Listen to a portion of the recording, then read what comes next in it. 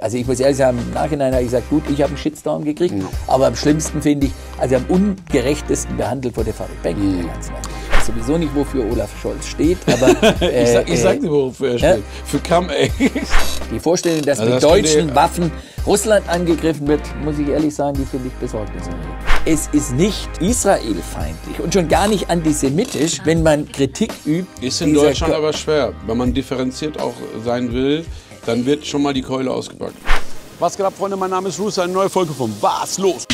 Freunde, Europa-Runde. Wir treffen uns mit den Leuten äh, die nach Brüssel wollen. Ja. Wir haben uns getroffen mit einer Partei, die ihr mir auch die ganze Zeit geschrieben habt, Bündnis Sarah Wagenknecht. Und zwar haben wir uns getroffen mit unserem Ex-Bürgermeister, Oberbürgermeister Thomas Geisel, der jetzt nach 20 Jahren SPD zu BSW gegangen ist und aufgestellt ist, Spitzenkandidat ist für Europa. Wir haben mit ihm gequatscht. Äh, kleiner Hinweis für euch. Ein paar von euch dürften ihn noch äh, kennen aus Düsseldorf. Er hat mal eine, eine Aktion gemacht mit Fahrrad wegen, ähm, also damals Masken verteilt und so weiter zusammen mit Fahrrad, hatte deswegen einen riesen Shitstorm. Das alles besprechen wir und natürlich, was er in Brüssel vorhat, warum er gewechselt hat und so weiter. Freunde, wir sehen uns am Ende der Sendung noch einmal wieder.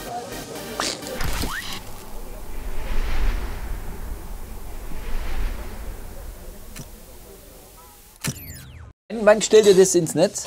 Sobald es geht, weil wir brauchen, okay. wir wollen ja vor den Wahlen noch raus. Ja, ja, klar, auf jeden genau. Fall. Ja, Also, ich kann das dann natürlich auch teilen und weiter verbreiten. Natürlich, das sollst du. Ja, ja, soll ja, klar, ja, natürlich, natürlich.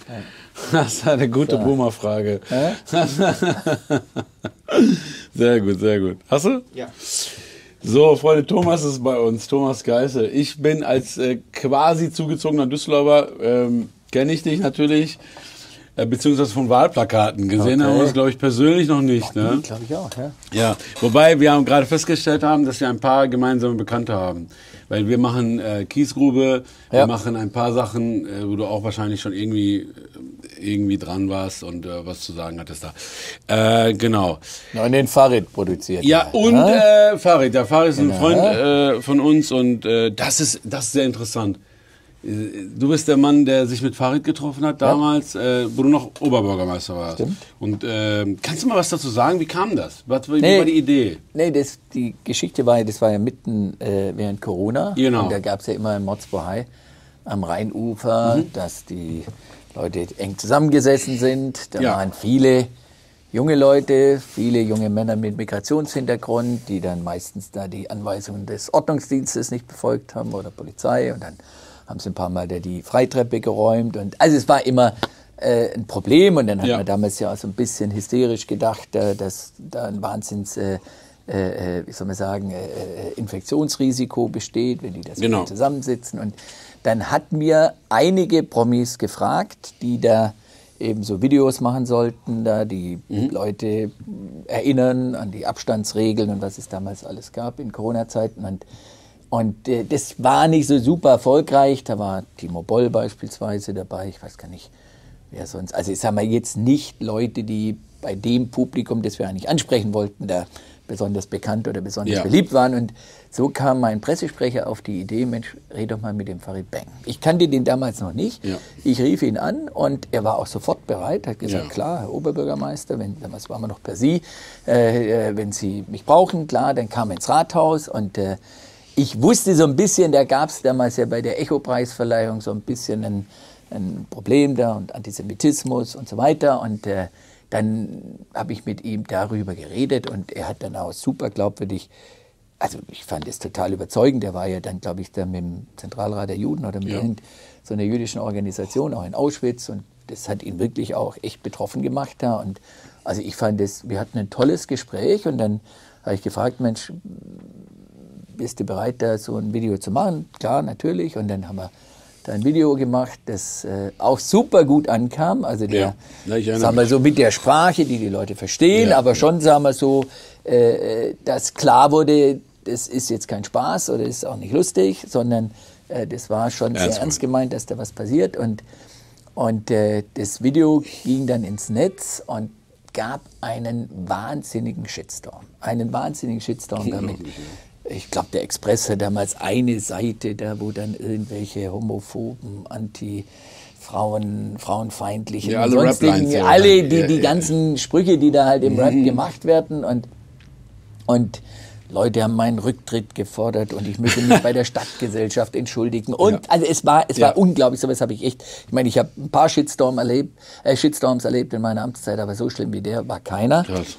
Und äh, dann hatte ich die alle Fraktionen eingeladen, um denen mal einfach zu erläutern, was der, was der Hintergrund war für das Ganze. Das, man muss auch sagen, das Video war super erfolgreich. Das wurde, glaube ich, in den vier Tagen, in denen es im Netz war, fast 500.000 Mal angeklickt. Ja. Und danach war auch Ruhe am Rheinufer. Es hat auch wirklich sozusagen wirklich? Das sein, hat also ist jedenfalls. Okay. deutlich ruhiger gewesen. Es hat auch wirklich seine, seine Wirkung erreicht. Aber jedenfalls, ich hatte dann die Fraktion eingeladen. Da, ich glaube, es kam irgendeine von der Linken kam, glaube ich, und eine von der SPD. Die anderen kamen schon gar nicht und haben also auch die FDP und die Grünen sagten, also sie sind nicht bereit, länger mit mir zusammenzuarbeiten. Ich müsse das vom Netz nehmen. Die SPD war auch stinksauer, hat sich auch von mir distanziert. Und gut, ich habe es dann nach vier Tagen, glaube ich, vom Netz genommen. Und dann, Unglaublich, ja. Pass auf, und dann bekam ich richtig Ärger mit meinen Töchtern. Die, sind, die hatten da null Verständnis dafür. Also ich meine, das sind selbstbewusste junge Frauen. Also damals, wie alt waren die? Antonia und Maria, die waren 15, 16 damals, 16. Und Mhm. Genau in äh, dem- so genau so Ah, in dem ja, Alter ja. und sagte, sag mal, du bist so übergeschnappt, da vor so ein paar Leuten, Politnasen da einzuknicken, die von Rap sowieso keine Ahnung haben. Da, also so, ich habe erst Ärger mit der Politik gehabt, dann habe ich es vom Netz genommen, dann habe ich zu Hause Ärger gehabt. Alles war Ja, ja. wirklich, äh, war schon eine, eine irre Erfahrung, muss ich Ja, sagen. Ich glaube im Nachhinein, ganz ehrlich, ich das Ja, sagen, ja. also im Nachhinein, ich glaube, viele Leute sehen das heute auch anders als damals. Ich glaube, viele Leute sagen natürlich erstens, also äh, wie sagt man so schön, der Köder muss dem Fisch schmecken. Also du musst natürlich Leute haben, die auch Gehör finden bei denen, Ja. die du ansprechen möchtest. Und an sich, also ich muss ja sagen, das Farid Bang war, ich fand es super, dass er sofort bereit war dazu zu machen. Er war ja übrigens auch, das wissen die wenigsten, der war ja damals einer der ersten großen Maskenspender. Der hat ja alle Ja, ich weiß, war viele dabei. sozial, Ja, genau, der hat ja Ja, viele soziale Einrichtungen damit Masken versorgt. Also er war wirklich, er, er war, hat sich vorbildlich verhalten und der hat, also er hat, sagen wir, diese, diese ganze Berichterstattung am allerwenigsten verdient. Also ich muss ehrlich sagen, im Nachhinein habe ich gesagt, gut, ich habe einen Shitstorm gekriegt, aber am schlimmsten finde ich, also am ungerechtesten behandelt wurde Farid Bang in der ganzen Angelegenheit. Ja, wir, ich war dabei, ich hatte das äh, aufgenommen, äh, der hatte mich angerufen, die haben, äh, genau, ich erinnere mich, ist schon so lange her wieder. Ja, ja. Wir haben Masken hier und da äh, paketweise gebracht und äh, vergeben und verschenkt und so weiter, da war ich mal dabei bei einem Tag. Sehr interessant. Ich meine natürlich, ich verstehe das natürlich, warum die Leute, die sich mit Rap nicht auskennen, ne, warum die das machen und so weiter, aber fand ich sehr mutig von dir, dass du das trotzdem irgendwie versucht hast. Ähm, hat das eigentlich äh, Karriereschaden bei dir gebracht? Also manche Leute sagen, dass das mit ursächlich war, dass ich die Wahl verloren habe. Ob das stimmt, du, ich kann es dir nicht. Also ich würde mal sagen, die Hauptursache, dass ich nie wiedergewählt wurde, war Corona. Also Corona war wirklich, ich meine, das hat der Stadt einen gewissen Knacks Ja, versetzt. Ich wen sag mal, nicht, das hat die Menschen verändert. Also ich sag mal, die Leute waren auf einmal wahnsinnig ängstlich, wahnsinnig autoritätsgläubig. Äh, äh, also ich meine, ich hatte ja dann immer so, ich meine, ich war ja immer ein ziemlich volkstümlicher Oberbürgermeister. Ich war hier immer bei den Leuten Ja. viele Leute haben mich dann gefragt, kann ich ein Selfie mit ihnen machen und so. Und dann habe ich Selfies gemacht, hatte selber keine Maske auf, habe Leute in den Arm genommen, dann hat irgendjemand sowas fotografiert, dann war ich also der, habe ich da also gegen irgendwelche Regeln verstoßen. Also es war so eine, eine hysterische komische Stimmung, Phase, ja. eine echt komische Phase. Und dann, sagen wir, der Sommer 2020 wäre ja auch ein mega toller Sommer gewesen für Düsseldorf. Und, Ja. und auf einmal war alles tot, war null, es gab kein kulturelles Leben mehr, kein soziales Leben mehr. Die Leute sind nur noch zu Hause geblieben und Wahlkampf konntest du gar keinen richtigen machen da. Und dann muss ich zugeben, also ich, es hat mir auch keinen Spaß mehr gemacht. Ja, ich glaube, vielen hat das keinen Spaß mehr Ja, gemacht. ne? ja, also ich muss sagen, äh, für dich ist das aber interessanterweise, also über Corona könnten wir jetzt stundenlang wahrscheinlich Äh, nee, reden. machen wir nicht. Nee, ich, ich, vorbei. Ich, ich, glaube, ich glaube aber tatsächlich, wie du das gerade, es ist wirklich sehr interessant, wie du das gerade gesagt hast, zwischen den Zeilen konnte man raushören so ein bisschen, dass wir Corona jetzt nicht nur wirtschaftlich, sondern auch psychisch Mhm, noch lange nicht verarbeitet haben. Ne? Es war eine ganz komische Phase, die die Menschen, wie du auch sagst, das beobachte ich auch, Mhm. gefühlt verändert haben. Aber man muss sagen, das eine hat für dich ja auch wieder eine andere Tür geöffnet. Jetzt bist genau, du ja als, genau. äh, kann man das sagen, als Ur-Ur-SPDler? Ich meine, man kann nachlesen, dass du am... 40 Jahre. Ja, aber das ist doch wirklich... 40 Jahre. das ist so unglaublich. Ja, und in Wahrheit ist es noch viel länger sogar. Ich meine, ich ich, glaube, ich habe im Alter von fünf Jahren, ich bin mit 18 eingetreten, ja, genau. aber mit fünf Jahren habe ich bereits Propaganda für die SPD verteilt. Mein Vater war, ja, Vater. Mein Vater ja, ja, war Landtagsabgeordneter und ich meine, da wo ich groß geworden bin, das war so schwarz, da gab es eigentlich nur Familie Geisel für die SPD und ich sag mal, wir haben da mehr oder weniger als Familienbetrieb SPD-Politik gemacht. Ja, ich meine, äh, das ist wirklich sehr interessant an dem Punkt. Äh, früher war es ja auch eher so, dass man gesagt hat, ja, du von Haus aus SPD oder von Haus aus CDU, man hinterfragt nicht so sehr die einzelnen Sachen, Klar. man nimmt das an. Heutzutage ähm, das hat ja Vor- und Nachteile. Heutzutage gibt es ja auch ohne Ende kleinere Parteien, äh, viel mehr als früher, ja. viel mehr Möglichkeiten, was wir auch begrüßen. Wir haben ja auch ein paar Leute getroffen, die gerade erst gegründet haben, wie zum Beispiel Volt, gibt es ein paar Jahre, PDF, äh, mhm. Partei des Fortschritts, Partei, des, Partei der Humanisten und so interessante Sachen. Du hast dich entschieden für eine Partei, die, glaube ich, auch wegen Corona und auch wegen der Phase da total den Auftrieb jetzt hat. Nämlich äh, Bündnis Sarah Wagenknecht. Vernunft und Gerechtigkeit, sage ich immer. Das ist unser vollständiger also als Parteiname. Das musst du uns erklären. Wie kommt man nach so vielen Jahren äh, naja. SPD und Familie? Ich meine, selbst deine Schwester ja. ist in der SPD. Sind die da noch? Die alle? ist in der, ja, ja, ja. Also wir, äh, meine, zwei meiner Schwestern sind in der SPD. Oh mein Gott, sind die sauer? Ja. Ja, also ich muss ehrlich sagen, also nee, was heißt sauer? Also mein, mein Vater, ich meine, mein Vater ist bald 60 Jahre in der ja. SPD. Und wirklich, ich meine, wir mein sind ja eine alte SPD-Familie. Mein Vater hat für die SPD Prinzip, sagen wir, viele Jahre war im Landtag und, und, war wirklich so ein bisschen so ein Pionier da ja. auch, äh, wo ich groß geworden bin. Also stockkatholisch, rabenschwarz auf der Ostalb, da auf dem Land in, in, in Baden-Württemberg. Und äh, klar, das prägt natürlich ja, auch klar. da. Und ich sag mal, ich glaube mit meinem Vater beispielsweise, also ich glaube, dass wir inhaltlich sind wir ganz eng beieinander. Also die Hauptthemen. Ich glaube auch nicht, dass du dich so schnell inhaltlich Ich habe mich, ich hab mich überhaupt nicht sagen. verändert, ja. mal ganz ehrlich. Ich meine, ich, also ich sage immer, ich bin so eigentlich so ein SPD-Mann, der in der Zeit von Willy Brandt und Helmut Schmidt ja. so politisch sozialisiert wurde, wie man ja. so schön sagt. Das war, und ich meine, das waren auch super Jahre für Deutschland. Willy Brandt mit der, mit der, der neuen Ostpolitik, mit der Entspannungspolitik, die am Schluss dann dazu geführt hat, dass der eiserne Vorhang irgendwann ja. gefallen ist. Helmut Schmidt mit, sagen wir, einer absolut vernünftigen Wirtschaftspolitik, die auf der einen Seite sozialen Frieden im Blick hatte da, aber wie soll man sagen, auch jetzt nicht so ein mega, äh, wie soll man sagen, Regelungswut und Micromanagement gemacht ja. hat, sondern der einfach einen klaren ordnungspolitischen Kompass hatte da. Und wenn ich mir heute die SPD anschaue, also in der Wirtschaftspolitik haben wir alles dem Habeck überlassen da und in der also in dieser Kriegspolitik, wie sie gegenwärtig stattfindet, das ist einfach nichts mehr, nicht mehr meins. Da, da finde ich auch wenig SPD drin. Also mhm.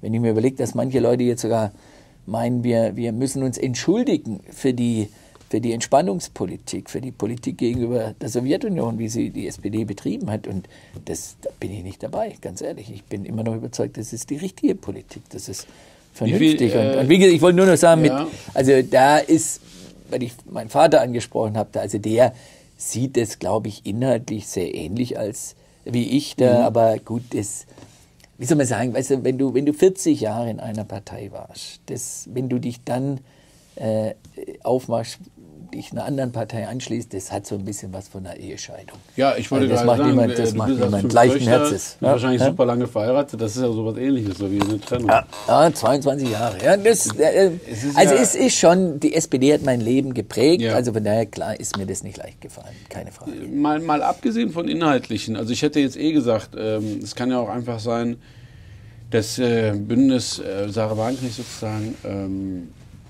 einfach näher dem ist, wo du eigentlich dich gesehen hast in der SPD und die SPD ja. sich verändert hat. Absolut. Äh, also ich meine, alle Parteien haben sich ja verändert. Ich meine, ja. selbst CDU ist ja immer mehr in die Mitte ja, gerutscht. Guck dir die äh, Grünen an.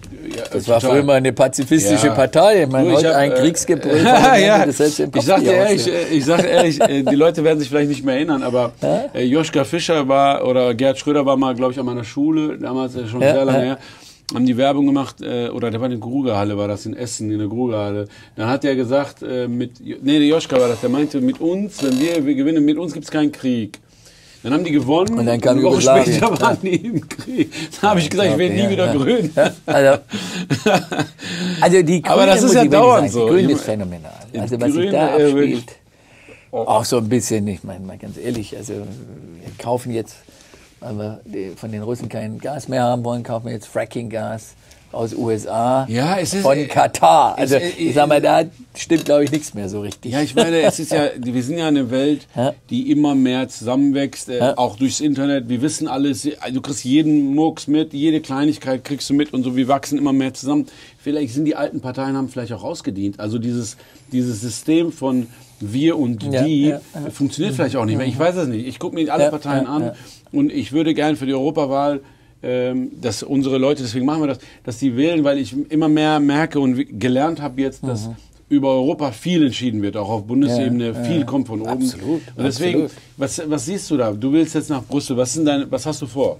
Also vielleicht nur zu dem einen Gedanken, den Ja. du da macht, äh, gemacht hast. Also was, was mich ehrlich gesagt wirklich mit großer Sorge erfüllt, ist, dass immer mehr Leute eigentlich die Hoffnung aufgegeben haben, dass mit Politik was erreicht wird. Ja, total. Ja, Also ich sag mal, wenn du mal, ja, wenn du mal anschaust, nicht Ja. nur im Osten, auch im Westen, wenn du mal zusammenrechnest, die Stimmen für die AfD Mhm.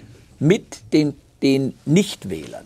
Also wir haben ja heute eine viel niedrigere Wahlbeteiligung als früher und dann haben wir noch einen hohen Anteil AfD. Wenn du AfD und Nichtwähler zusammenzählst, dann hast du selbst in Westdeutschland vielerorts mittlerweile eine strukturelle Mehrheit. Das heißt, über 50 Prozent aller Leute sagen, Politik, da will ich nur noch Denkzettel verteilen Mhm. Ja, ja. oder ich habe sowieso die Hoffnung Scheiß aufgegeben. Ja, und das ist wirklich etwas, was, was, ich, was ich wirklich verheerend finde. Übrigens am schlimmsten bei den Jungen. Also wenn du, ich meine, ich bin ja viel auch in Schulen unterwegs, da, aber wenn du auch so Infostände machst oder so, es, es ist wirklich schwer, die Jungen zu erreichen. Die sind frustriert, die sagen, komm, das ist sowieso alles nur Geschwätz, Es- es, erreicht mich gar es, nicht äh, da und das ist echt eine, das ist Ja, wir haben eine ja, wir, also es gibt zwei Sachen, ne? Politikverdrossenheit und auch Parteienverdrossenheit. Also dieses, man, man sieht eine Partei so als Label, äh, als, als, man hat da so eine, also man, man verbindet irgendwie nicht viel. Und man muss sagen, leider, ähm, ja, das ist so ein bisschen, äh, der Mensch braucht ja auch so ein bisschen das Gesicht für ne, ne,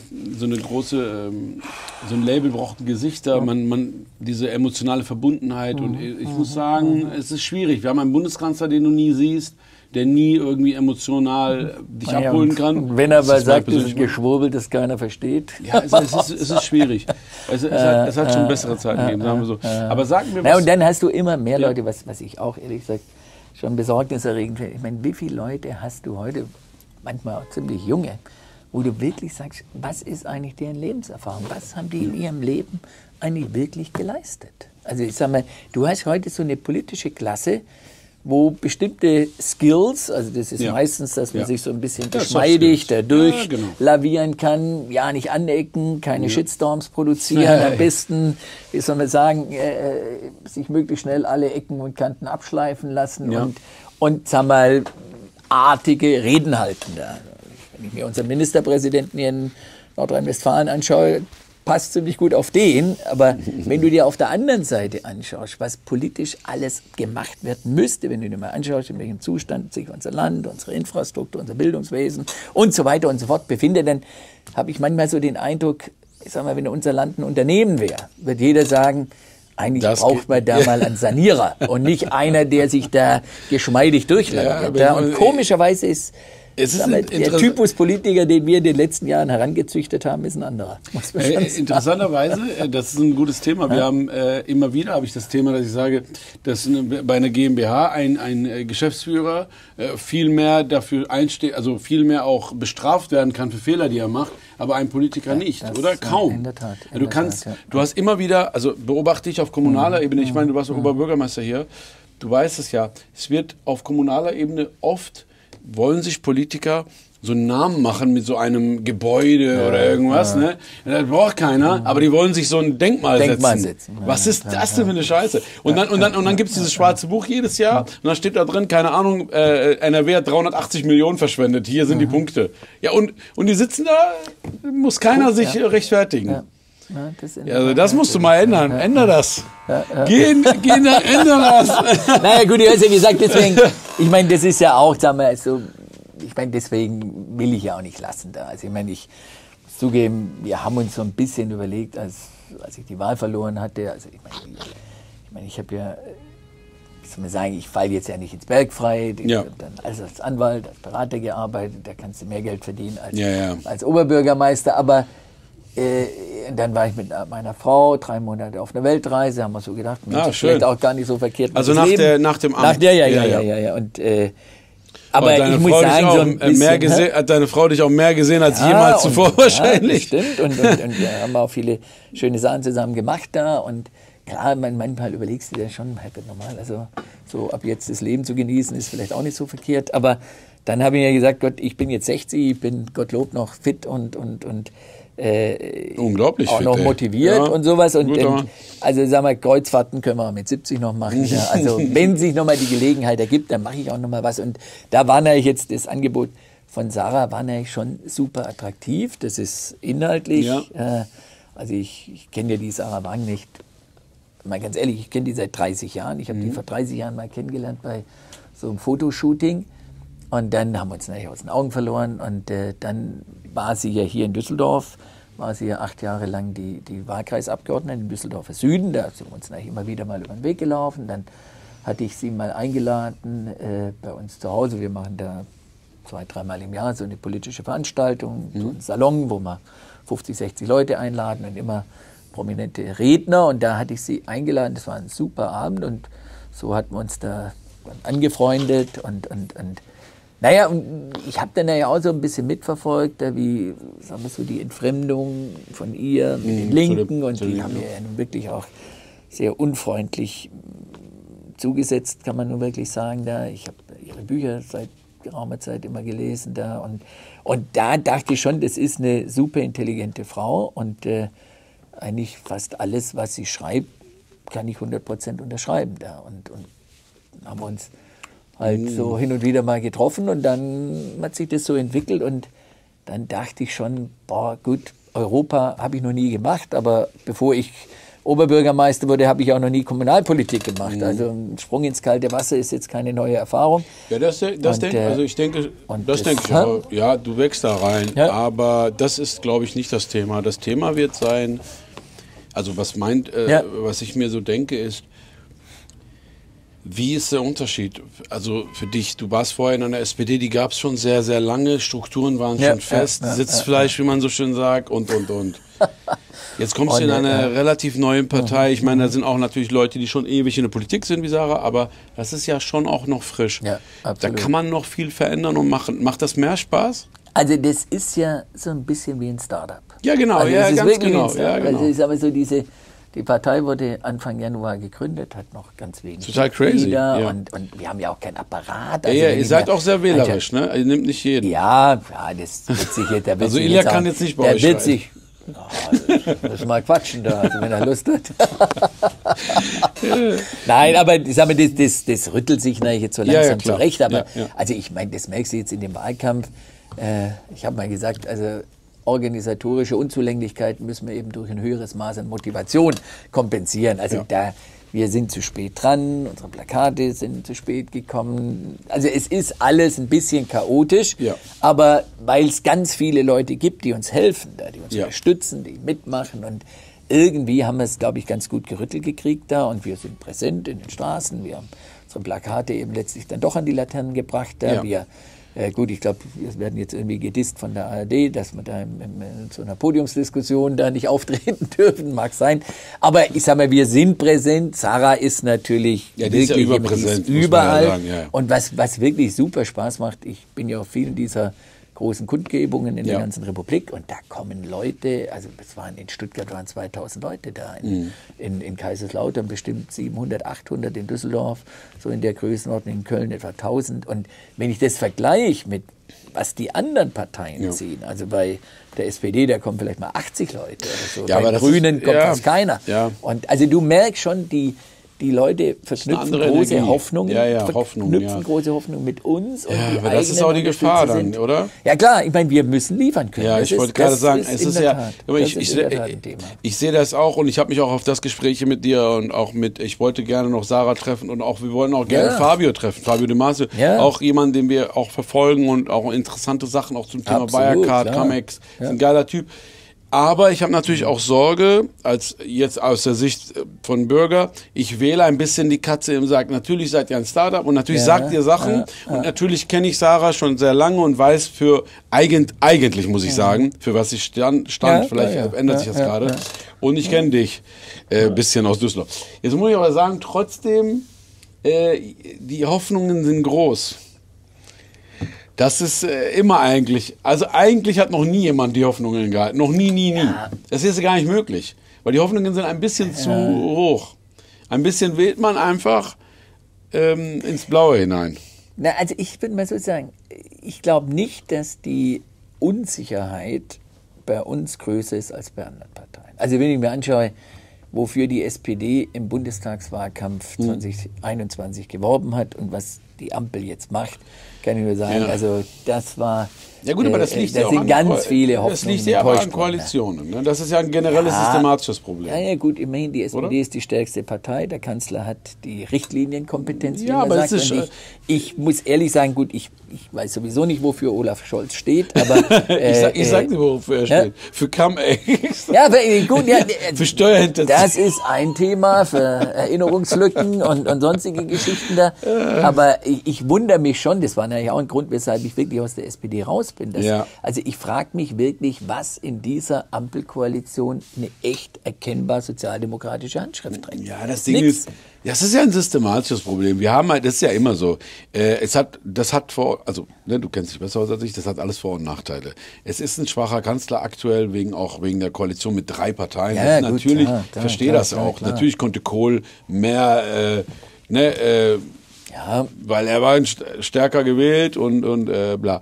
Aber trotzdem, die Parteien aktuell werden doch, meiner Meinung nach auch die Grünen, oder wie siehst du das, die werden doch viel zu äh, hart rangenommen, härter als es fair ist, weil die haben nun mal Ergebnisse, beziehungsweise die haben nun mal die Resultate der letzten Jahre, die sie jetzt vor sich da liegen haben, die Scherben, die müssen ein paar. Scherben aufräumen, das haben die ja nicht verursacht.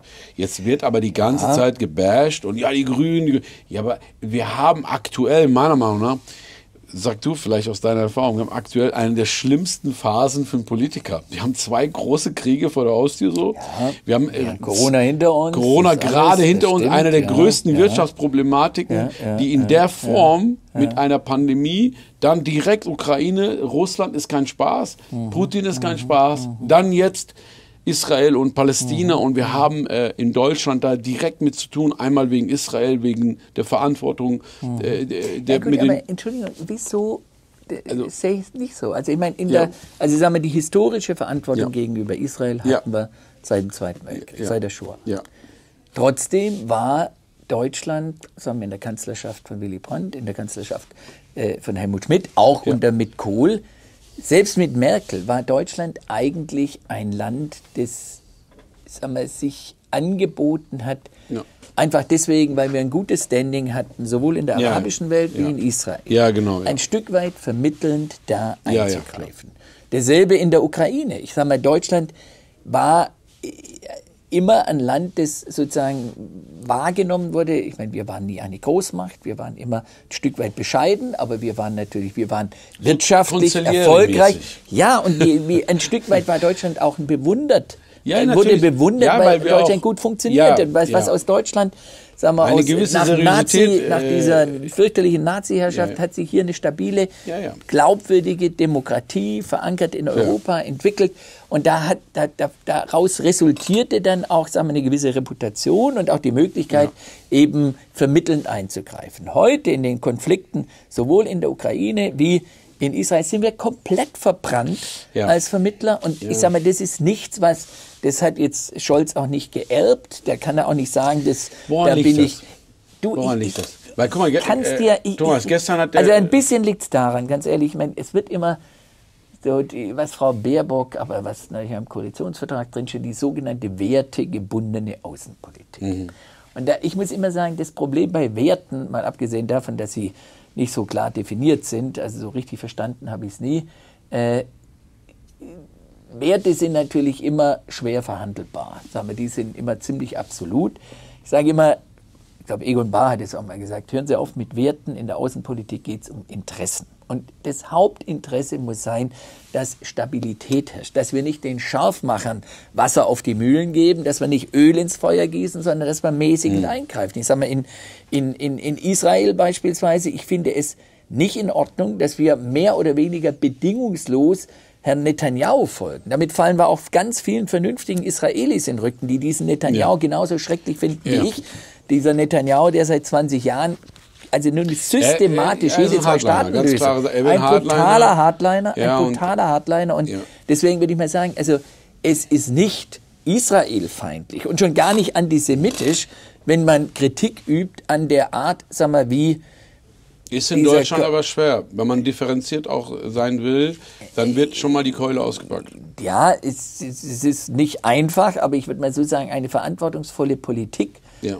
Heult eben nicht mit den Wölfen oder geht den vermeintlich einfachen Weg, sondern versucht ein bisschen die, die Themen vom Ende her zu denken. Wohin ja. soll das Wohin führen? Das ist ja dasselbe in der Ukraine. Also ich meine, ja. ich sage mal, moralisch verständlich finde ich es natürlich, dass man sagt, wenn ein Land völkerrechtswidrig überfallen wurde, wie es die Ukraine von Putin wurde, dann ist dein moralischer Impuls, dass du sagst, ich muss denen beistehen, ich muss denen helfen, mhm. die Armen überfallen.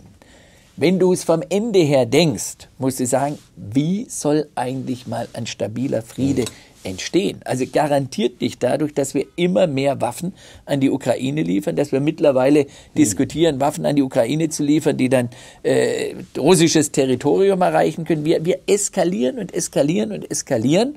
Und ich glaube, niemand derer, die heute, also Herr Hofreiter, Frau Strack-Zimmermann, Herr Roth in der SPD, die können dir alle ja. nicht sagen, was am Ende dieser Entwicklung Aber stehen soll. Ich, äh, ja. den, den, sag mal, ich sage mal, selbst wenn die Ukraine was absurd ist, den Krieg gewinnen sollte hm.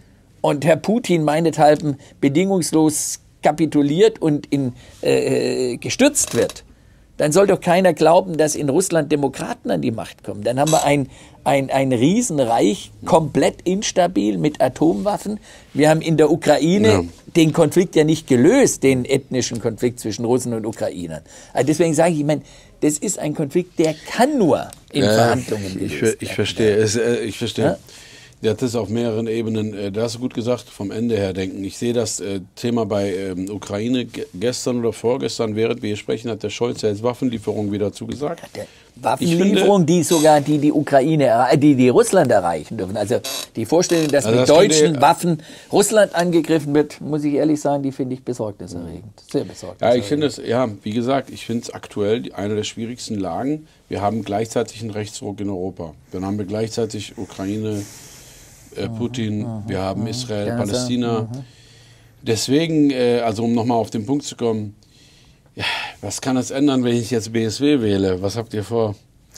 Also, wie gesagt, also unser Anspruch, dieser, diese Partei heißt Bündnis Sarah Wagenknecht, ja. Vernunft und Gerechtigkeit. Ich sage ehrlich, eine Sache, die mich echt angefixt hat, als ja. ich da Mitglied wurde, war, der Anspruch, Politik mit Vernunft zu machen. Und Politik mit Vernunft heißt. Höre ich die letzten Tage äh? öfter, muss ich sagen. Ja. Wir haben, darf ich dich unterbrechen, ja, ganz kurz? Natürlich. Wir haben, das ist auch ein, das ist auch, also ich wollte gerade sagen, das ist auch mein äh, Ansatz, äh, von meinem persönlichen Ansatz her, muss aber sagen, das höre ich gerne und das haben wir in letzter Zeit auch öfter gehört. Es klingt auch logisch, aber das Problem ist, wie ich das immer wieder sehe, der Mensch ist nun mal nicht vernünftig, auch wenn er sagt, ich will mit Vernunft rangehen äh, wir hatten eine Partei der Humanisten hier, die das mhm. sehr sachlich und sehr fakten- ja, äh, und, ja, wissenschaftlich sehen ja, wollen. Okay. Finde ich eine gute Sache. Dann hatten wir Partei des Fortschritts, da ist es schon im Namen.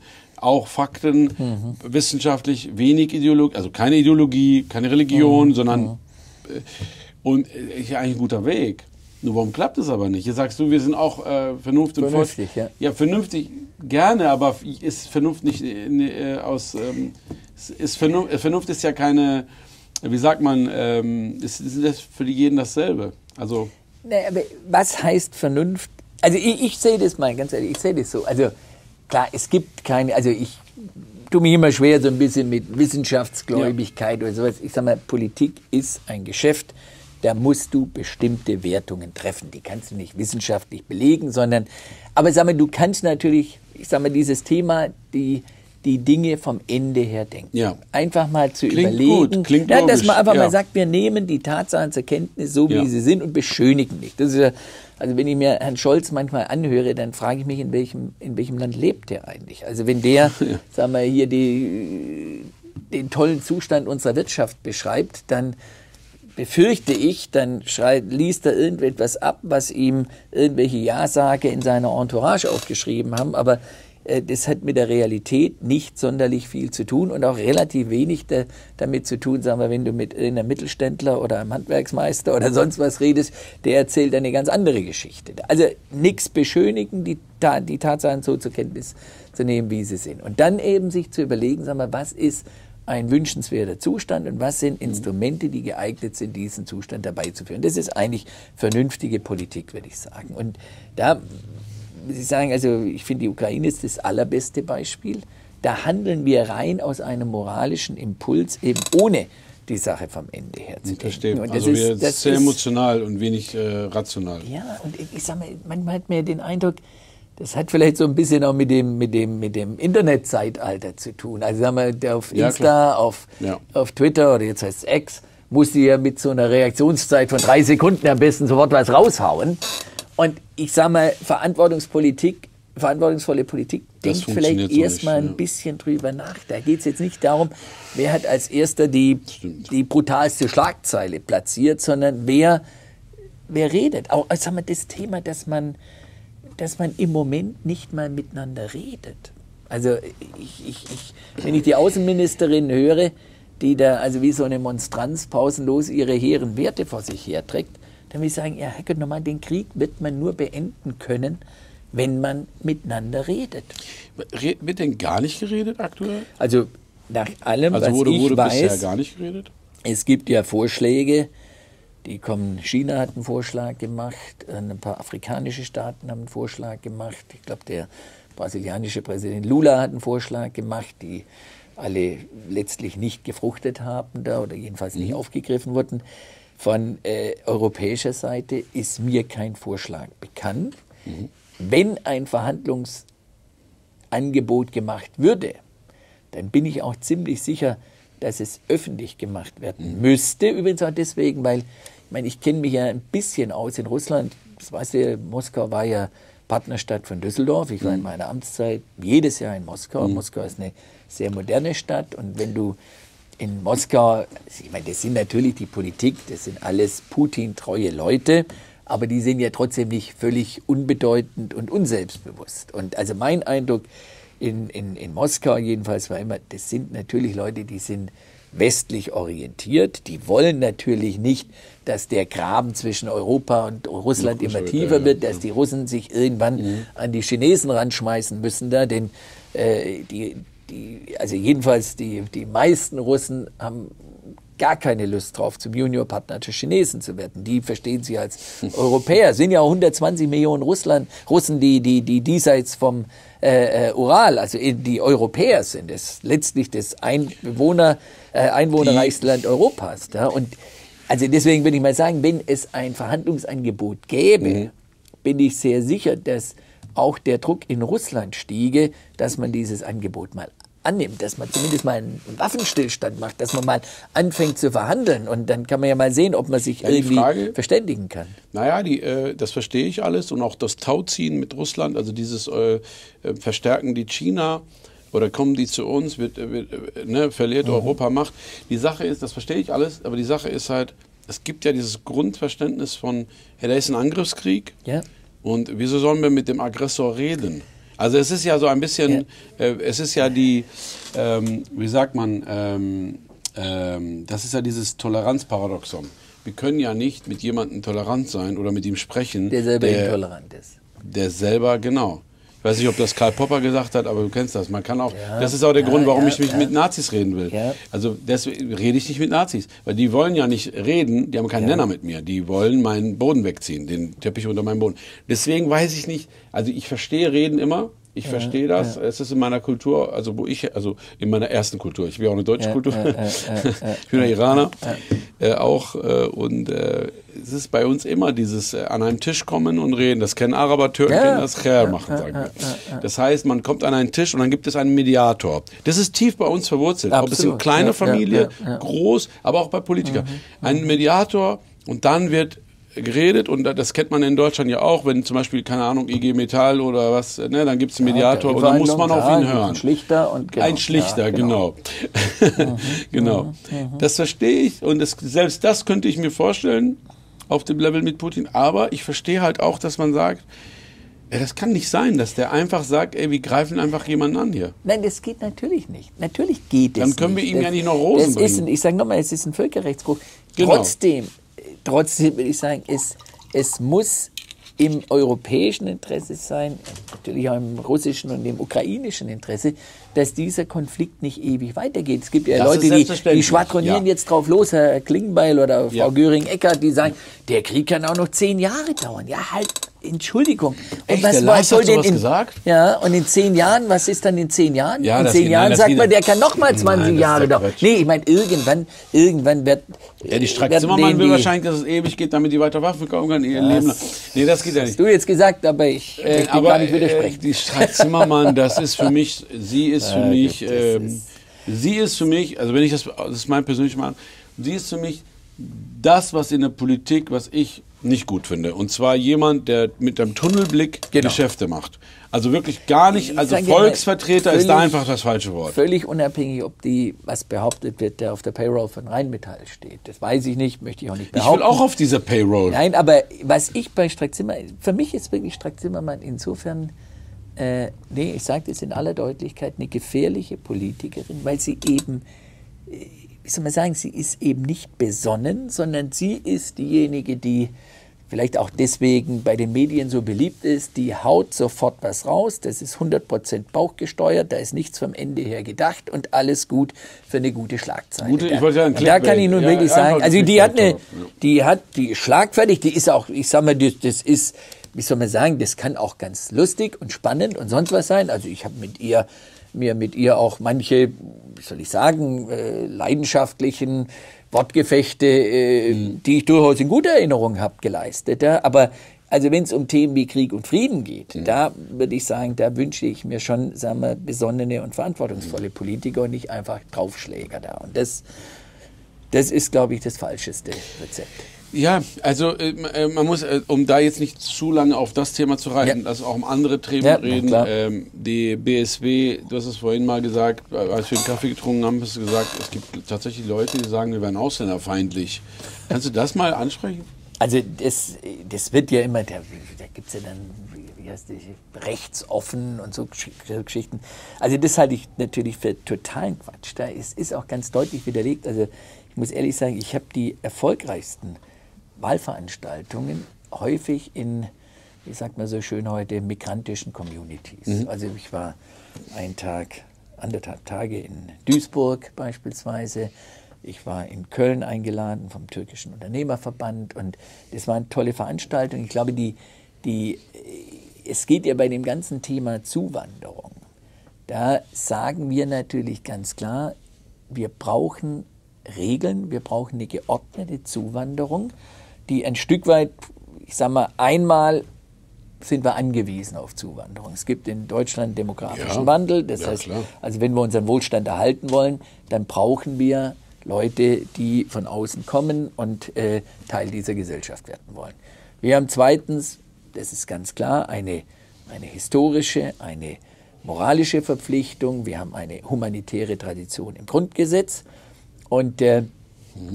Das, sind, äh, das ist auch ein Thema, was uns, glaube ich, moralisch, äh, wie soll man sagen, dafür sorgt, dass wir offen sind, wenn Menschen in Not sind, dass wir die aufnehmen. Mhm. Im Grundgesetz werden die politisch Verfolgten privilegiert. Ich bin durchaus der Meinung, es gibt heute viele Flüchtlinge, die sind nicht politisch verfolgt, sondern die etwa im Nahen Osten, die kommen aus Syrien, die kommen aus dem Irak, die kommen aus Libyen.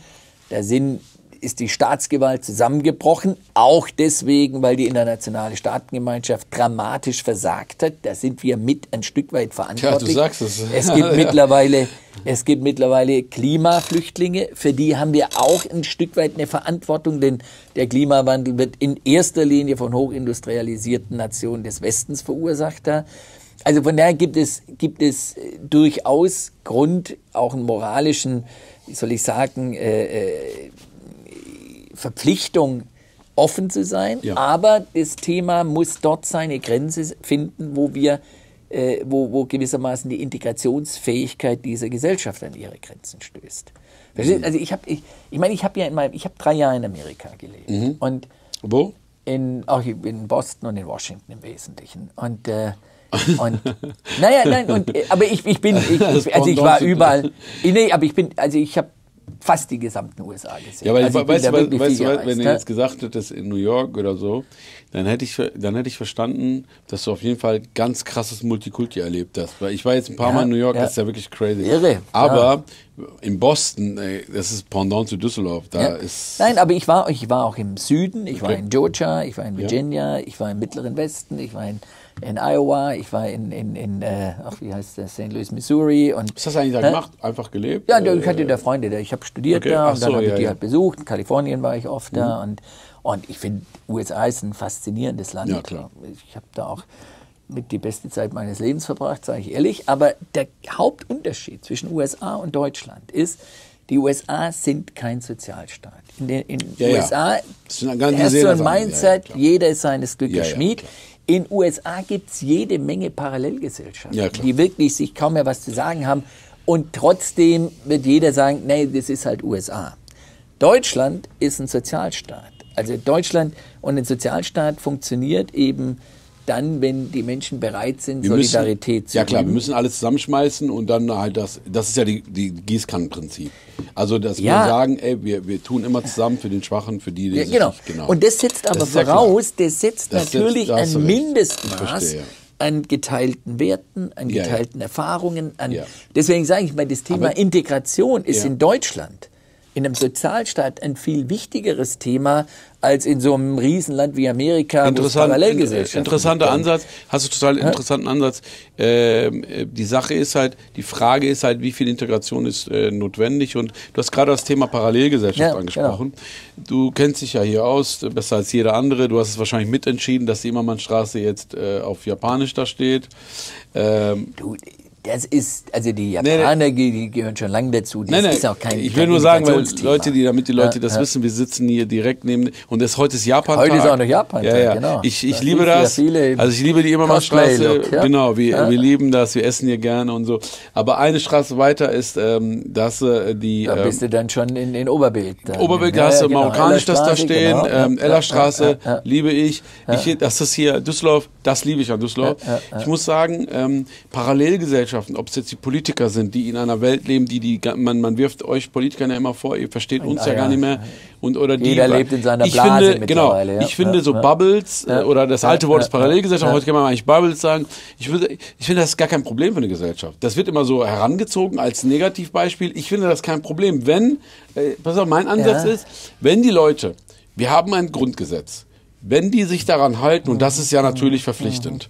Alles andere, ob du religiös sein willst, ob du nur noch Japanisch sprechen willst, weil du hier in der Hut alles verstehst und das ist mir doch egal. Also ist das, ein, ist das also, also, wie viel ich, brauchen wir denn Integration? Also ich glaube schon, also das Thema Sprache ist glaube ich schon wichtig. Wichtig? Also, wir, wichtig nein, nein, pass auf, ist, Thomas, es äh, ist wichtig. Ja, du hast ja recht. Für, ich sehe, also wenn ich jetzt Kinder habe, ne, ja. also aus dem Ausland kommen Kinder, ich sage denen, hör mal zu, bevor ihr die also ne, das ist absolut der Schlüssel, Schlüssel zur Gesellschaft, ja, absolut, Schlüssel zu ja. Erfolg, Wohnung, Job, alles, natürlich. aber, aber muss er ja nicht. Der kann ja schlechte Chancen haben, indem er die Sprache nicht spricht. Muss man, es ist ja nicht, also, also ich verstehe, es ist absolut vorteilhaft, aber warum muss das gezwungen, gezwungenermaßen sein?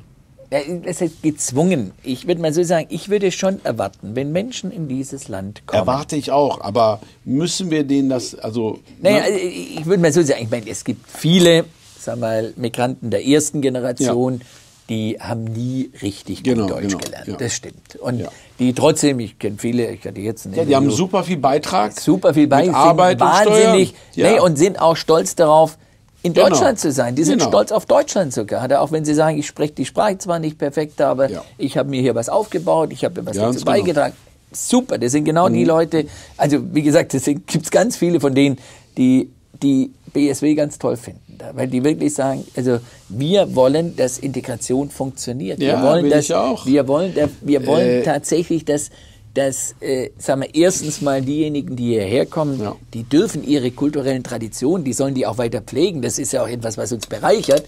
Aber sagen wir, sie, sie sollen dazugehören wollen. Also jemand, der einwandert, Klar. der muss sich hier mit diesem Land Idealerweise, ja. identifizieren.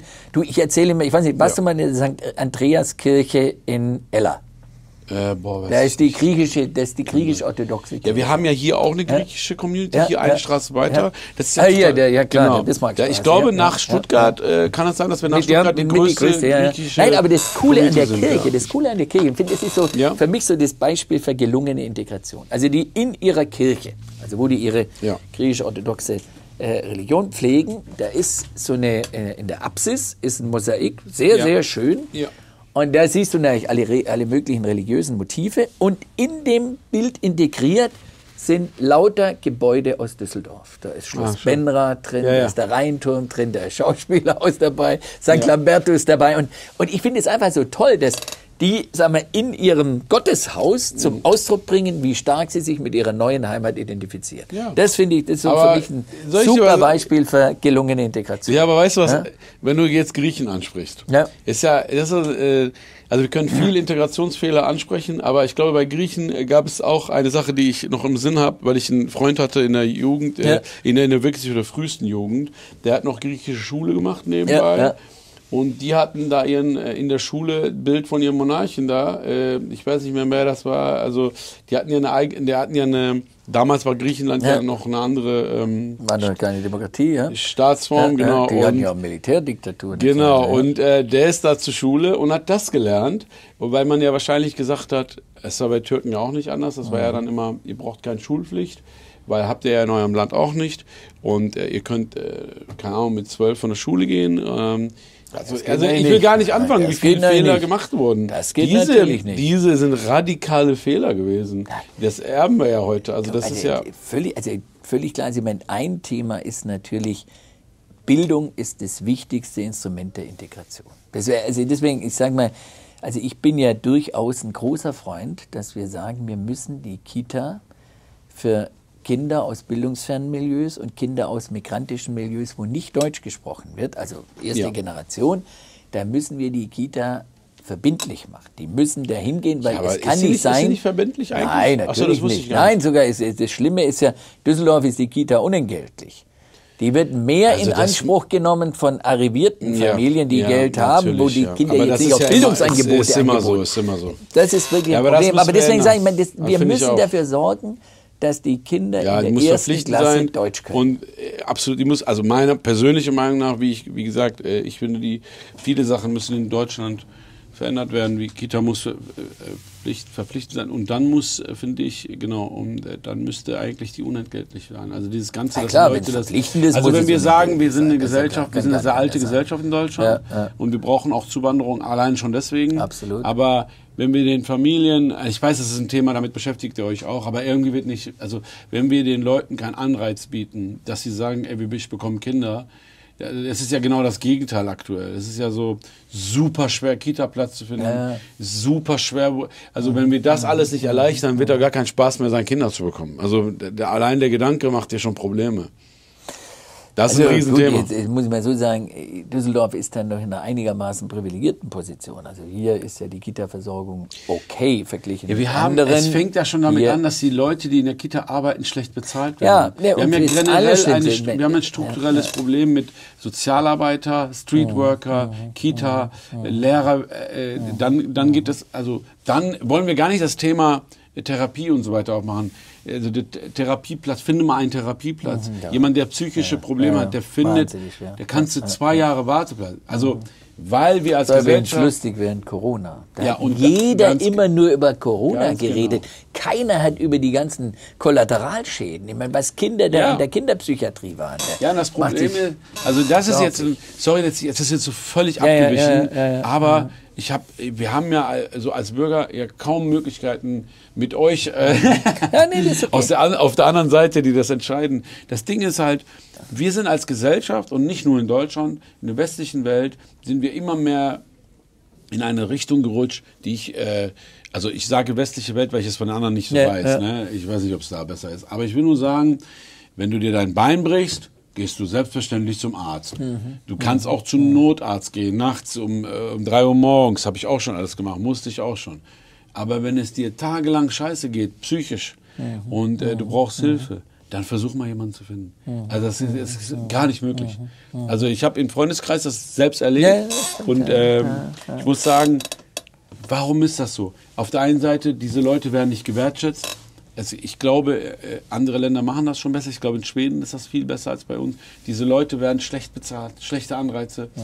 Und äh, das ist jetzt, ich, vielleicht hat das jetzt mit der ganzen Politik und mit der, mit der, mit der, mit der Europapolitik mhm. und wo du hin willst, vielleicht nichts zu tun, vielleicht aber schon.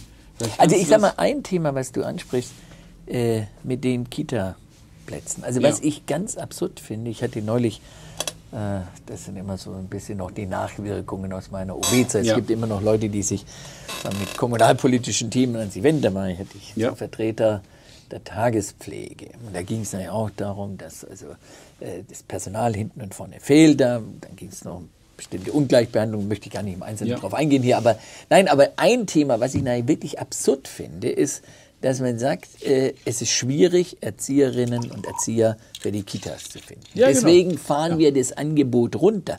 Wenn wir das Angebot runterfahren, dann, dann führt es natürlich ja, dazu, dass viele Frauen gar nicht mehr arbeiten können, weil sie keine Kinderbetreuung mehr haben. Genau. Wir, Das ist so eine echte Negativspirale, wo ich immer sage, das ist eben auch nicht vom Ende her gedacht. Da musst du eben sagen, nein, wir müssen natürlich die Voraussetzungen schaffen, dass die Kinder betreut sind, dann können, äh, dann können die, die Frauen arbeiten, arbeiten dann hast du, sagen wir, eine wir höhere Wertschöpfung, dann hast du äh, und so weiter. Also dann können sich die Leute, zum Teil sind alleinerziehende Mütter, äh, die, die sind auf die Kita ja. angewiesen, ja, sonst müssen die natürlich von irgendwelchen Transferleistungen leben.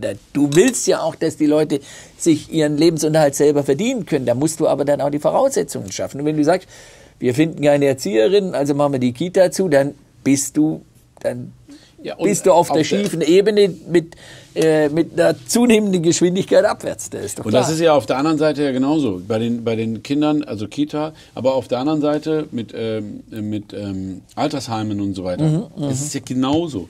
Da müssen, Wahnsinn. Es ist ja, äh, also meine, meine Mutter arbeitet in dem Sektor schon seit 20 Jahren. Ja, ja. Das kannst du wirklich sagen. Ja, also meine Mutter äh, hat ja, glaube ich, sogar mehr als 20 Jahre da gearbeitet in dem mhm. Sektor und mhm. ist gerade in Rente gegangen, jetzt gerade. Und ähm, ich kenne das kenne ich sehr gut, weil sie natürlich ja. sehr viel zu Hause da äh, äh, ne, äh, ihr Frust rauslässt ja. oder rausgelassen hat, äh, wie Sachen hätten besser sein können und bla. Und ähm, da laufen wir auf ein Riesenproblem. Das also total, total. total. Ähm, also, das, also ist das, das nicht auch eine Frage für Brüssel?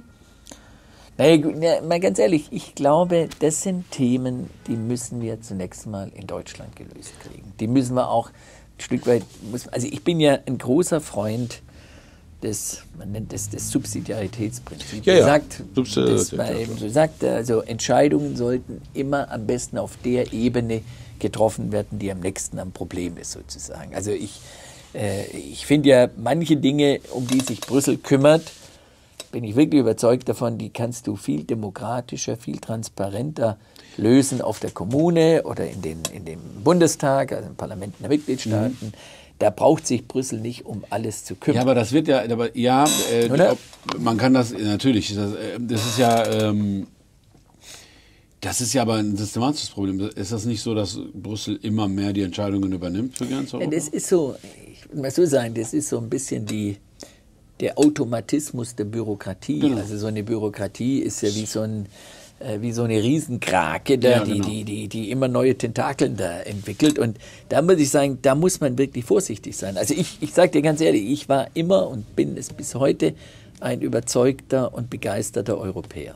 Aber ich bin nicht der Meinung, dass wir immer mehr Europa in dem Sinne mhm. brauchen, dass sich Brüssel um immer mehr kümmern muss, sondern ich bin der Meinung, äh, ich bin großer Freund des Demokratieprinzips. Brüssel, was in Brüssel entschieden wird, ist nicht so gut demokratisch legitimiert wie das, was in der Kommune ja. oder im Bundestag getroffen wird. In Brüssel gibt es einen Haufen Lobbyisten, die da ja, am Werk sind. In Brüssel Lass uns nicht über Lobbyisten Prozesse, ja. Prozesse, die sind nicht sehr transparent, die sind nicht sehr durchsichtig. Und deswegen sage ich immer, Brüssel sollte sich wirklich konzentrieren auf die Aufgaben, mit denen die Mitgliedstaaten überfordert sind. Dafür ist Europa gegründet worden. Da und, finde ich, also ja? finde ich, finde ich schwierig, weil, also, das ist ja vielleicht idealistisch. Idealerweise hast du jetzt gesagt, dass die gewissen, gewisse Sachen sollen in Brüssel und gewisse Sachen sollte man lieber auf Länderebene, weil mhm. das besser ist. Jetzt mhm. müsste man natürlich nochmal schauen, was, was. Aber führt das nicht zwangsläufig darauf hinaus, dass es immer mehr äh, spitz nach Brüssel geht, immer mehr. Ja, aber wieso? Nee, nee, also ich, ich, ich frage, es gibt so. Ich frage dich. Ich, meine, also ich mache mal, mach mal ein Beispiel. Ja. Äh, ich, also jetzt aus meiner Erfahrung als Oberbürgermeister. Ja, ich hatte meine ja. Vorlage im Rat, da sollten insgesamt etwa 150 Brückengeländer ja. erhöht werden auf von 1,10 Meter auf 1,40 Meter. Äh, und mit einem Kostenvolumen von etwa 170 Millionen. Mhm. Ja. Vielleicht war es ein bisschen umgekehrt, weiß ich jetzt auch nicht mehr ganz genau. Aber jedenfalls ein, wo ich sagen würde, also einige dieser Brücken ja. kannte ich, wo ich sagen, also der Hintergrund war, dass irgendein eine Regelung aus Brüssel vorsah, dass also wenn irgendwelche äh, Straßen über fließende Gewässer mhm. führen mhm. die so und die Straßen mit Fahrrädern befahren werden können, dann könnte es sein, dass weil ja der Schwerpunkt bei manchen Rädern relativ hoch ist, dass wenn einer mit sturzbesoffenem Kopf Fahrrad fährt, er möglicherweise ans Geländer kommt und dann kopfüber in das fließende Gewässer stürzen kann und deswegen müssen alle Geländer jetzt auf 1,40 Meter. Sehr absurd. Ich kann mir richtig vorstellen, wie da irgend so eine wahrscheinlich die Geländerstahl-Lobby in ja. Brüssel zugange war, die dann, sagen wir, es ist ja immer schön, wenn man sagt, es geht hier um Sicherheit, ja, ja, maximale das, das Sicherheit. und dann hat man da irgendwie Bürokratie angeworfen und die hat dann mhm. also in so eine Regel äh, entwickelt, die natürlich wahrscheinlich nirgendwo in Europa wirklich angewandt wird, gilt natürlich in ganz Europa, aber niemand hält sich wirklich dran, aber wir in Deutschland sind ja immer die Musterknaben, wenn es darum geht, irgendwelche Vorgaben zu erfüllen. Und und so kamen die dann auf die Idee, dass man also in Brüssel 150 Brückengeländer erhöhen muss, so in der Größenordnung. Und ich habe dann gesagt, wie crazy ja, ist das sowas? Ist crazy. Also, das ist auch völlig sinnlos. Genau, da will ich mal sagen, das soll doch ja. jede Kommune, also ja. ich würde mal so sagen, ich kenne einzelne dieser seine Brücken. Kommune besser. Genau, würde ich auch sagen. Und ob da eine Gefahr besteht oder nicht, ich glaube, das kann so. jedenfalls mein äh, äh, Amt für Verkehrsmanagement besser entscheiden als du, so ein Apparat in Brüssel. Nee, so, da sagen wir, äh, was soll der Mist? Also lass sowas das ja. kannst Nein, du ganz ich bin total bei dir. Du, du, ich persönlich bin total bei dir. Ich, ich versuche hier nicht, äh, ich, ich sage nicht, dass es so sein soll. Ich sage nur, ich beobachte das und lerne das dieses Jahr, de, mit dem, ich habe mit allen Spitzenkandidaten gesprochen oder die, mit den meisten, die nach Europa gehen. Ja, ja. Und äh, das habe ich ja gelernt. Ich meine, ich bin voll bei dir bei, dieser, bei diesem Thema. Aber es, ich habe das Gefühl, es geht immer weiter nach äh, oben, spitzenmäßig. Es gibt ja Parteien, die wollen das sogar noch mehr. Ja, ich weiß. Es, es gibt, wenn du manches Programm, im SPD beispielsweise, da wird überhaupt nicht mehr die Frage gestellt, ob, also die Frage ja. nach der Kompetenz, die Frage, wo wird welche Entscheidung am ja. transparentesten und demokratischsten entschieden, sondern da sagt man, alles, alles, was gut ist, muss in Brüssel entschieden. also ich mache mal ein Beispiel, also, weil ich weil das immer so ein bisschen die, die, die, die Gemüter erregt. Also, also vorweg, ich bin ein leidenschaftlicher Befürworter der Straffreiheit von Schwangerschaftsabbrüchen. Ja. Jetzt gibt es Leute, die das gewissermaßen in Brüssel für ganz Europa entscheiden lassen wollen, mit ja. Hinweis auf irgendwelche angeblich oder tatsächlich geteilten Werte in der europäischen Wertegemeinschaft. Jetzt ganz ehrlich, ich bin ziemlich, also erstmal muss man sagen, das ist eine Frage des Strafrechts. Mhm. Dafür hat Brüssel überhaupt keine Kompetenz. Ja. Ich bin wirklich überzeugt, solche Themen, da wird im Bundestag sehr ausführlich debattiert und dann trifft man eine Entscheidung, die demokratisch legitimiert ist.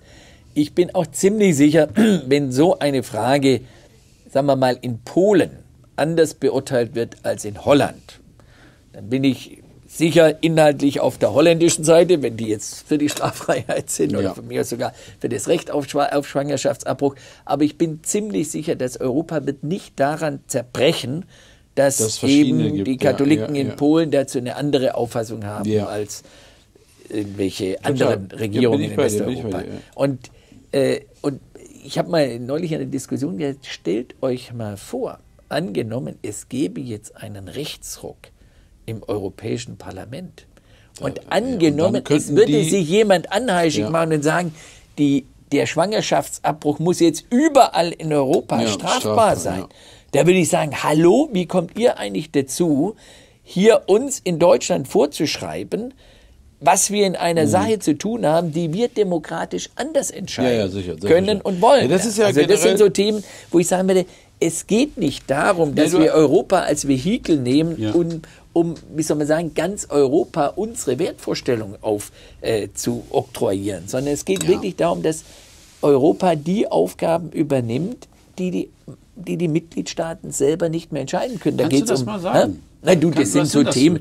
Also ich sag mal, ein Riesenthema ist ja die, wie nennt man das, die, die digitale Souveränität mhm. Europas. Also wenn du dir mal anschaust, über welche wahnsinnige Macht ja. heute und zwar sowohl technologisch ja. wie wirtschaftlich. Habe ich mit ganzen, Martin gesprochen. Diese ganzen, genau, diese Martin. ganzen Datenkraken aus dem Silicon Valley verfügen. Ja, ja, also da kann kein Mitgliedstaat sagen, so, und ich stehe, ich, ich mache mich jetzt anheischig, da hier da, den, den Googles und Amazons da das, das Handwerk zu legen. Das kriegen wir nie hin. Wir werden es auch nicht schaffen, wenn Europa nicht zusammensteht, dafür zu sorgen, dass die mal anständig besteuert werden.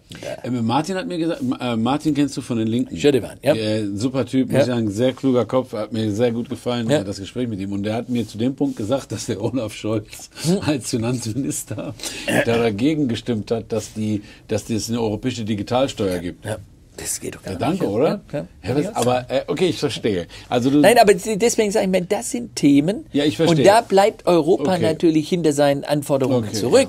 Und okay, ich, also da würde ich mich drauf, äh, da würde ich sagen, da muss Europa zusammenstehen. Da, das ist wirklich. Auch in der Verteidigung äh, zum Beispiel von Europa? Also ich muss mal ehrlich sagen, also ich finde, also erstmal, ich also finde diese ganze Militarisierung ja. der europäischen Idee ja. insoweit schon verhängnisvoll, weil Europa eigentlich mal gegründet wurde als ein großes Friedensprojekt. Also dass wir jetzt sagen, Europa Aber wir müssen ist, uns verteidigen. Ja, gegenüber wem? Jetzt gegenüber, ich, den, gegenüber ich sag Russland. Nur, ich, also jetzt, weiß, ich, weiß also ich nicht. Ich, sag's nur. gegen China, gegen, gegen USA. China, ich darf mal eins sagen, was.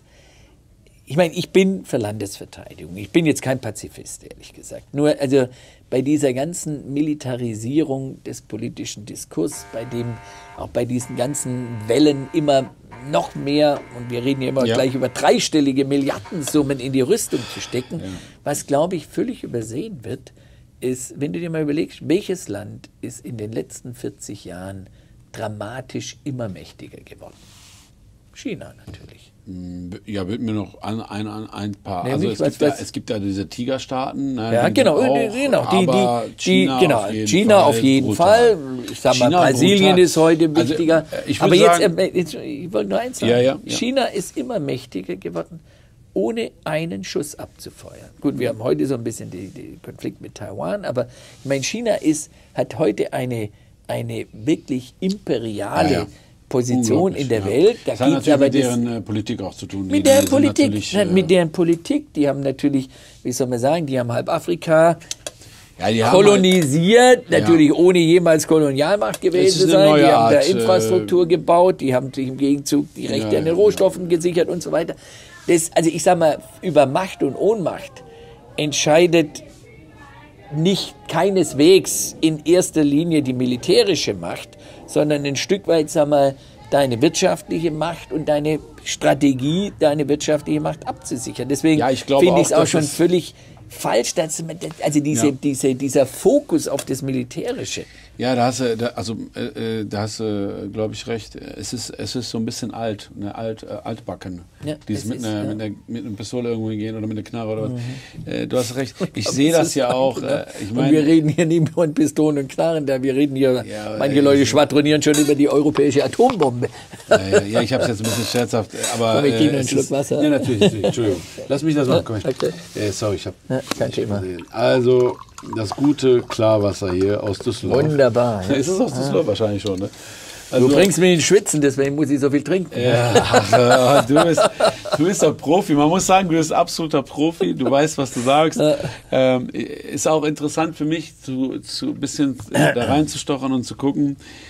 Ähm, ich finde das sehr interessant, dass man sagt, ähm, Europa ein paar Sachen, äh, aber auf Länderebene bleiben wir souverän.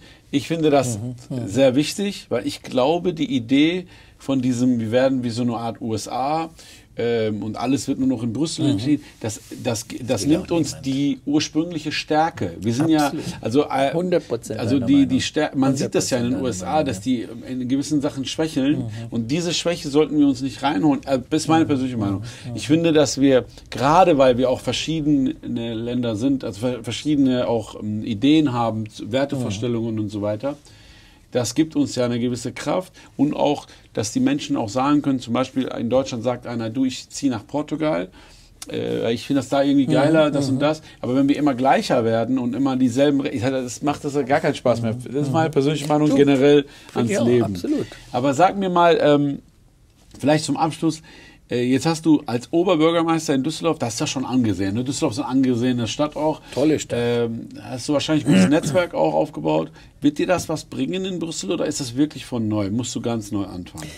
Naja, also ich muss so sagen, das Düsseldorfer Netzwerk da gibt es sicher ein paar Berührungspunkte mit Brüssel, aber ja. nicht sonderlich viel. Also das heißt, du musst dir schon bist, was Neues also aufbauen. Also du bist da so ein Rookie. Ja? Du, du, bist da, ja, du kommst da hin. Äh, ich komme da hin. Die Leute wissen ja immer du, zu. Ich musste auch viel lernen, ehrlich gesagt, aber also das war auch so, als ich OB wurde. Ich meine, ja. ich war ja nie in meinem Leben Kommunalpolitiker vorher. Und also ich, ich habe ein bisschen die Erfahrung gemacht, ich habe ja in verschiedenen beruflichen Stationen, äh, muss ich sagen, habe ich Dinge gemacht, auf die ich nicht vorbereitet war, die auch vielleicht in meiner Lebensplanung gar nicht vorgesehen ja. waren oder so. Und ich habe dabei schon die Erfahrung gemacht, dass, also wenn du dich reinhängst, wenn du Spaß daran hast, und da bin ich sicher, das werde ich haben, dann bist du auch relativ schnell runter auf der Lernkurve. Mm. Also dann kannst du auch relativ ja, schnell es ist, bewirken. Es ja. ist, äh, Und du musst Hilfe in Anspruch nehmen. Also, was, mein, also ich kann mich noch erinnern, also als ich zur Ruhrgas ging beispielsweise, mhm. du, ich hatte von den langfristigen Gasverträgen nicht viel Ahnung. Und dann habe ich natürlich auch den Kollegen gesagt, deren Chef ich dann wurde, also Sie verstehen von dem Geschäft mehr, ich bin auf Ihre Hilfe angewiesen und das ja. haben die auch toll gemacht. Cool. Oder im Rathaus muss ich sagen, ich meine, äh, wird ja immer das Gegenteil behauptet, aber ich, ich fand ja ganz toll, äh, als ich, ich war da seit vielen Jahren mal wieder ein Sozialdemokrat, die Mehrheit aller Beigeordneten, also der Mitglieder des Verwaltungsvorstands, waren CDUler. Und ich fand toll, übrigens auch Keller damals, mhm. der war ja mein, mein Verkehrsdezernent, dass die Beigeordneten, die Dezernenten, ihre Rolle jetzt nicht als Parteipolitiker verstanden haben, sondern als Teil einer Verwaltung, Teams, die was ja. nach vorne ja, bringen will. Da. Und, und so, ich würde sagen, wenn du mit so einer Offenheit an so ein so eine neue Aufgabe rangehst, dann bist du meistens, also jedenfalls meine Erfahrung, also, bin ich meistens auch erfolgreich gewesen. Ja, ich finde das eine gute Sache. Man sollte da auf jeden Fall, das Problem ist ja, dass viele wegen Ego und so weiter die Scheiß bauen ah, und dann äh, nicht als Team, und, sondern als immer als Gegner mhm. und so. Mhm. Ich finde das aber interessant. Jetzt haben wir viel darüber geredet, was soll Europa dürfen, was soll auf Landesebene. Das ist ja genau spiegelbildlich für deine Karriere. Jetzt warst du ganz lange kommunal. Genau. Und du hast ja hier wahrscheinlich auch denke ich mal, Entscheidungen auch schnell Resultate gesehen, mhm. weil auf kommunaler Ebene geht schon mal was schneller. Ja, ja. Jetzt bist du auf eine, der höchsten Ebene, ja, also nochmal höher. Ich bin sehr gespannt, äh, wie du dich da schlägst, falls du dann reinkommst. Ich glaube, die Chancen stehen gut. Chancen und, äh, gut und, äh, und wie du das auch machst. Also ich werde dich weiter beobachten. ich bin sehr gespannt, äh, wie du dich da machst. Und auch wie die Partei sich macht. Also äh, Sarah Wagner, ihr, ihr, werdet nicht mehr so lange, lange so heißen, ne? Das BSW ja, nee, also Sarah hat ja gesagt, also BSW bleiben wir bis zur Bundestagswahl. Ja. Und ich sage mal, das, also wenn ich ehrlich bin, ich finde es auch ein bisschen albern, einer Partei anzugehören, die nach ihrer Gründerin heißt. Ich kann es insofern verstehen, als du damit einen gewissen Markenschutz hast. Ich sage mal, jeder weiß, oder man kann sehr leicht rauskriegen, wofür steht Sarah Wagenknecht. Ja. Und die Gefahr ist ja immer, wenn du eine, eine, junge Partei bist, wenig Mitglieder, schon sehr erfolgreich in den Umfragen, das fällt natürlich so in das Beuteschema von Pöstchenjägern und Karrieristen. Und die willst du natürlich Klar, nicht haben ja. und vor allem willst du nicht unterwandert werden von solchen Leuten. Ja, deswegen, und deswegen finde ich immer gut, also ich meine, die Sarah kann, solange das die Partei Bündnis Sarah Wagenknecht heißt, natürlich sagen, dafür gebe ich meinen Namen nicht her. Und damit hast du so eine gewisse Kontrolle, dass wir eben nicht, man, guck dir die AfD, das war ja die diesmal von konservativ, aber sagen wir, anständigen lange, Professoren ja, gegründet her, worden ja, ja. und irgendwann ist sie von Nazis unterwandert worden. Sehr lange her. Das hat, das, die AfD ist wirklich ein Musterstück des Rutsches nach rechts. Absolut. Ich glaube, dreimal wurde also innerlicher, ein innerer Putsch, dreimal. Genau, und, jetzt und immer weiter nach rechts so interessant eigentlich zu beobachten gewesen. Kann man wirklich sagen. Ja. Ich bin gespannt, äh, wie sich äh, Sarah Wagenknechts Partei, die BSW, schlägt. Ich danke dir für deine Zeit, Thomas. Sehr gerne. Äh, gutes Gespräch. Vielleicht sehen wir uns auch wieder. Vielleicht ja, be begleiten wir dich mal oder be be besuchen dich auch mal in Brüssel. Mal, ja, absolut, bist dann kommen wir mal nach Brüssel, ja. Ja, du bist, ja. Äh, bist du dann, wie ist das, wenn du dann reinkommst? Bist du die ganze Zeit in Brüssel ja. und dann mal Wochenende wieder hier? Oder bist ja, ja, also, wir, also meine Familie, wir bleiben ja, ja, wir wohnen da. Wir, ich meine, sage ich mal, angenommen, ich wäre jetzt ein maltesischer Europaparlamentarier, ja. dann wäre die Reise von Malta bis Brüssel ist weit, aber von Düsseldorf bis Brüssel ist sind es zweieinhalb ist, Stunden. Also ja, ja, und unser Flughafen ist ja hier auch um die Ecke. Ich braucht doch nicht Flughafen. Da fährst so, du mit Kalle sind zwei Stunden. Das ist ruckzuck. Ach, wirklich? Ja, ja, es geht ruckzuck. Oh, cool. Na, ich nee, dachte, nee, gut, ist, ja, gut. Weil du bist halb so schnell, nee, Quatsch, du bist doppelt so schnell, du brauchst halb so lange nach Brüssel als nach Berlin. Das war mir gar nicht bewusst. Das ja, werden wir jetzt demnächst, das werden wir auch mal machen. Steinwurf. Nach Brüssel. Ja. Wir haben jetzt echt viele Leute kennengelernt, die äh, echt gute Chancen haben nach Brüssel zu kommen. Ich muss mir Brüssel mal anschauen. Also nach, Herzlich willkommen, kann ich nur sagen. Vielen Dank, Thomas. Vielen Sehr Dank für dein Möchtest du, ähm, wir geben allen unseren Leuten ja. hier, die in der Wahl, im Wahlkampf sind, nochmal die Chance, am Ende ein Schlusswort zu haben? Bitte schön, das ist dein Schlusswort. Ja, also ich würde mal so sagen, ich hoffe, zunächst mal, euch hat das Gespräch Spaß gemacht. Da, mir ist ganz, ganz wichtig, in erster Linie, dass alle zur Wahl gehen. Also gerade ist ja immer ein bisschen mit Sorge, ich habe selber fünf Kinder da, dass gerade die Jungen häufig nicht zur Wahl gehen. Und das kann ich schon deswegen nicht verstehen, weil, sagen wir, wer jung ist, der hat noch mehr vor sich und äh, der ist insofern auch viel stärker betroffen von politischen Entscheidungen. Und dann gilt ja der alte Grundsatz, wer nicht handelt, wird behandelt. Also will heißen, wer nicht zur Wahl geht, kann sich danach auch nicht beschweren da. Ich würde mich natürlich sehr freuen, wenn ihr meine Partei wählt, Bündnis Sarah Wagenknecht, Vernunft und Gerechtigkeit. Wir sind ganz unten auf dem Wahlzettel oder fast ganz unten auf Platz 28, also ein bisschen Zeit nehmen, sich den ganzen Wahlzettel mal durchzulesen, bei Liste 28 das Kreuzchen zu machen und ich glaube, das wäre, glaube ich, schon ein Signal auch für einen Aufbruch in Deutschland und Europa, für Frieden und wirtschaftliche Vernunft und ich glaube, das ist das, was unserem Land gut täte. Also zur Wahl gehen und am liebsten Liste 28 BSW wählen. So, nochmal, äh, äh, kleine, vielen Dank. Kleine Störung hier. Leute, ey, es ist Japan-Tag, äh, Bullerei hier, dies, das. Alles gut. Ähm, danke nochmal an Thomas. Äh, sehr nice Gespräch, Freunde. Wir sehen uns am Ende de, äh, des Videos noch einmal wieder. Dann gebe ich euch alle Links, alle Möglichkeiten. Ähm, ähm, und ja, bis gleich. Freunde, yes, yo, Bündnis Sarah Wagenknecht. Ist es was für euch? Kriegt ihr das mit? Nur, dass ihr es wisst, äh, Sarah werden wir hoffentlich auch noch treffen, wenn sie Zeit hat. Und ich habe äh, jemanden auch im Auge, den ich gerne sprechen wollte. Fabio De Masi. De Masi oder De Masio? De Masio wäre so witzig. Ja, ähm, auch ein guter Typ, ist auch zu BSW gegangen. Sehr interessant. Viele gehen zu BSW. Was denkt ihr? Ist das, gehen die dahin, weil die Karriere machen wollen? Die Partei ist jung, die Partei hat einen, Hype. Oder ist es Überzeugung? Was würdet ihr wählen? Demnächst ist es schon wieder, Freunde. Deswegen, Freunde, Gangzeichen. Damit ihr wisst, das ist trotzdem eine Hip-Hop-Sendung. Wir machen unsere Pflicht hier. Wir zeigen euch, was ihr noch wählen könnt. Wählt auf jeden Fall. 9. ist es soweit. Am 9. Europawahl geht wählen. Wenn ihr nicht was, guckt euch die Folgen an. Wenn ihr nicht wisst, was, dann macht Valomat aber macht nicht nichts, Freunde. Ich bin raus. Gleich.